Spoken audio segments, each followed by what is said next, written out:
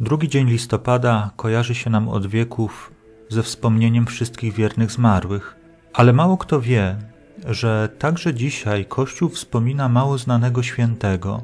Mowa tu o biskupie Malachiaszu, który żył na przełomie XI i XII wieku. Nazywany był biskupem prorokiem. To jemu przypisywane są liczne proroctwa i zapowiedzi nadchodzących czasów. Późniejsza tradycja potrafiła nawet przypisać mu pewne dokumenty mówiące o tym, że przewidział kolejne pontyfikaty papieży. Proroctwo Malachiasza, bo tak zostały nazwane, do dzisiaj rozbudza nasze umysły i jest inspiracją dla wyobraźni wielu twórców. W ostatnich latach współcześni badacze przepowiedni powrócili do analizy przepowiedni Malachiasza, znajdując w niej nowe, według ich interpretacji, trafne wizje, choć trzeba powiedzieć, że interpretacje te są podważane przez wielu sceptyków. I tak według autorów Pius XII miał być pastor Angelicus, anielskim pasterzem. Jan XXIII miał być pastor etnauta, bo przed wyborem na papieża był patriarchą Wenecji i zapewne pływał gondolami, a nauta po łacinie to żeglarz. Wreszcie miał nastąpić papież Florus Florum, kwiat kwiatów, i określenie to miałoby pasować do Pawła VI, który w herbie umieścił trzy heraldyczne kwiaty lilii. Następny miał być de medietate lune, czyli z połowy księżyca. Niektórzy uważają, iż pasuje to do papieża Jana Pawła I, który został wybrany dzień po tym, kiedy księżyc wszedł w ostatnią kwadrę. Wreszcie de laboris solis, z pracy słońca, zwolennicy tej przepowiedni uważają ją za zapowiedź nadejścia Jana Pawła II, który niczym słońce pielgrzymujące na niebie odwiedzał różne zakątki świata. Wreszcie Gloria Olive, chwała oliwki, przypisywana Benedyktowi XVI, ponieważ jednym z symboli zakonu świętego Benedykta jest gałązka oliwna. Ostatnie najdłuższe hasło brzmi w czasie najgorszego prześladowania świętego Kościoła Rzymskiego na tronie zasiądzie Piotr Rzymianin, który będzie paść owce podczas wielu cierpień, po czym miasto siedmiu wzgórz zostanie zniszczone i straszny sędzia osądzi swój lud. Oczywiście musimy podchodzić do tych rewelacji z dużym dystansem. Dlaczego Kościół akurat 2 listopada wspomina biskupa Malachiasza?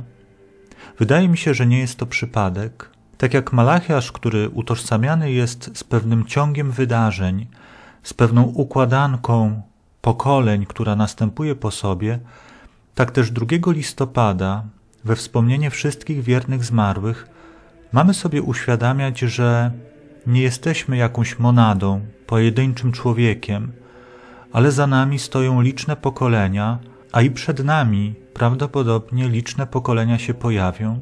Żeby sobie to lepiej uzmysłowić, warto pomyśleć o naszych przodkach. Żeby mówiący te słowa mógł pojawić się na świecie, potrzeba było tylko dwojga ludzi, ale już potrzebne było czterech dziadków, ośmiu pradziadków. Gdyby się tak cofać do wcześniejszych czasów, to okaże się, że piętnaście pokoleń wstecz potrzebowało aż ponad 30 tysięcy ludzi.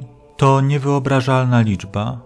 Trzeba było setek tysięcy ludzi, aby powstał jeden człowiek.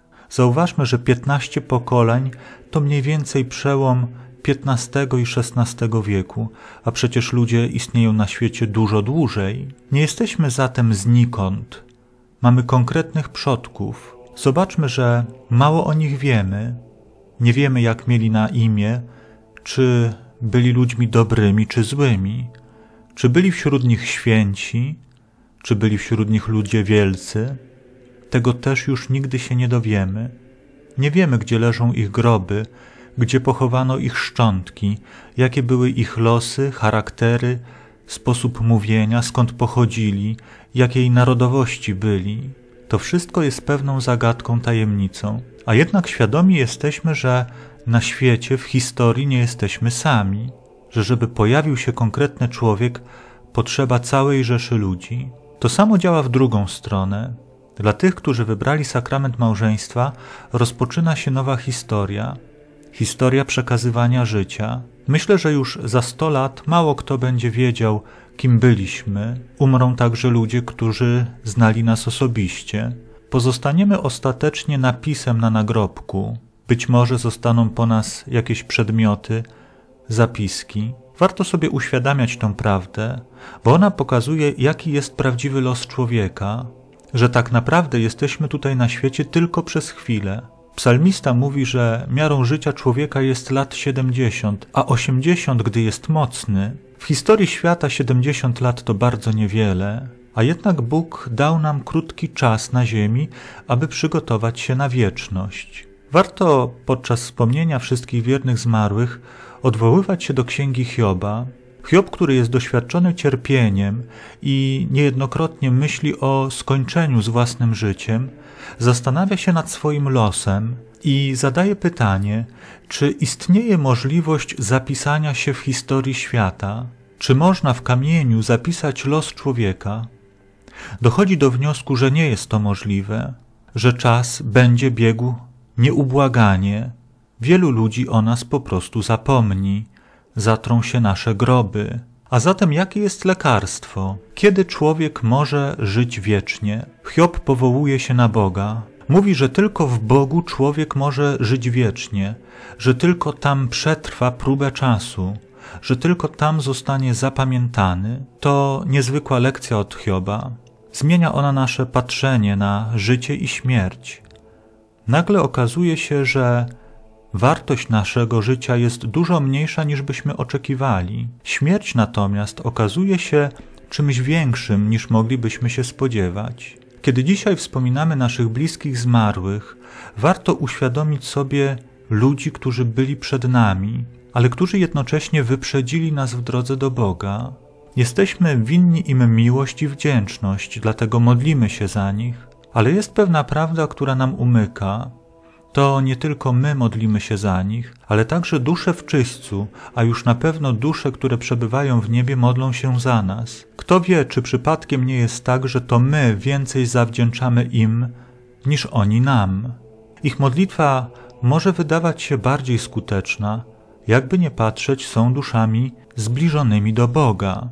Coroczny obchód wspomnienia wszystkich wiernych zmarłych jest dla mnie osobiście dosyć trudnym wydarzeniem. Pamiętam bowiem wielu moich zmarłych. Jest w tym święcie rzecz dobra, pogodna i radosna, ale także trochę smutna. Jeżeli sobie o tym dobrze pomyślimy, to okaże się, że dzisiaj jesteśmy o rok bliżej naszej śmierci niż byliśmy 365 dni temu.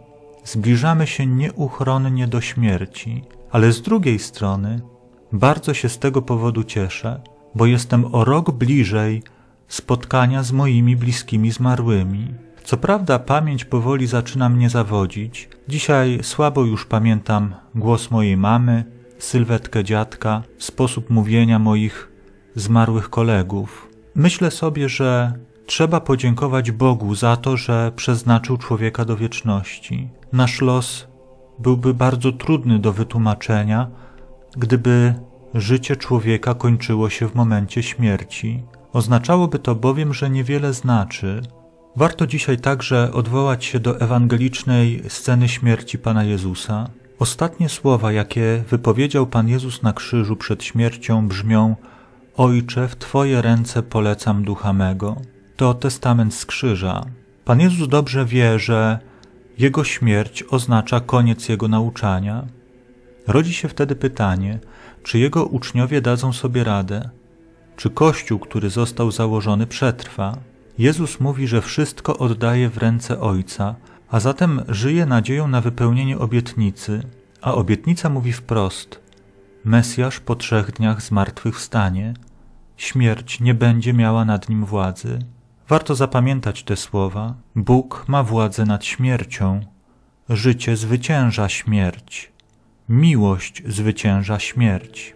Bogu niech będą dzięki za to, że daje nam możliwość kontaktu z naszymi bliskimi zmarłymi, nie na zasadzie wywoływania ich, jak na seansach spirytystycznych, ale poprzez miłość, poprzez modlitwę, poprzez ich wstawiennictwo. Nasi zmarli żyją wokół nas. Niektórzy nawet twierdzą, że czują ich obecność. Sam też w to wierzę, modlę się za nich, ale też bardzo liczę na to, że oni pomodlą się za mnie. Amen. Wieczny odpoczynek racz im dać Panie, a światłość wiekuista niechaj im świeci. Wieczny odpoczynek racz im dać Panie, a światłość wiekuista niechaj im świeci. Wieczny odpoczynek racz im dać Panie, a światłość wiekuista niechaj im świeci. Niech odpoczywają w pokoju wiecznym. Amen.